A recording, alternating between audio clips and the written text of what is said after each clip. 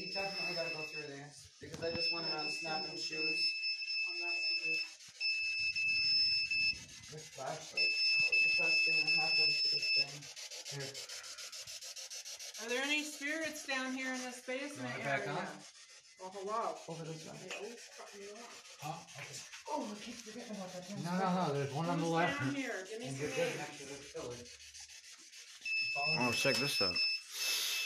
Watch, you're gonna walk into a spider web. No, shine, shine, shine a light in there.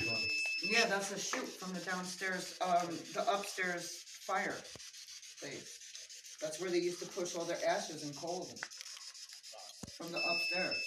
And then down here, right next to you, It's the same behind that glass, is a fireplace that was down here, and this was a chute from the second floor.